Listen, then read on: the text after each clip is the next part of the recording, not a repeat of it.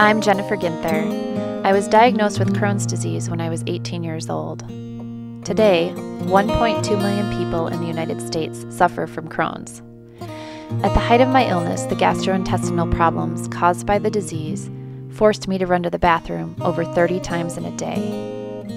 At first, I was prescribed steroids and immunosuppressants that didn't control the illness and had severe side effects. Then, in 2008, I was hospitalized with a severe Crohn's flare. Until recently, Crohn's disease was thought to be caused by an overactive immune system. Lucky for me, I was referred to a doctor who knew about scientific evidence showing that Crohn's disease is caused by a type of bacteria called MAP. This doctor put me on an anti MAP treatment regimen using three kinds of antibiotics.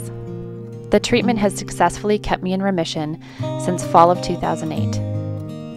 While the treatment has kept me in remission, long term usage of the triple antibiotic regimen has had mild adverse effects on my body, and I've had to go on and off the treatment, leaving me vulnerable to another flare up.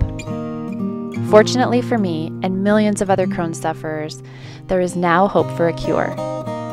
The Crohn's MAP vaccine is now in development at King's College London by Dr. John Hermon-Taylor. The vaccine has already proved successful in animal trials. Now we need your help to bring this vaccine to human trials. Join me Friday, April 24th, 2015, at the 514 Studios in Minneapolis for the Crohn's vaccine benefit. Proceeds from the benefit will go directly to support the vaccine. Visit the benefit website at www.crohnsvaccinebenefit.com. Together, we can bring an end to Crohn's disease.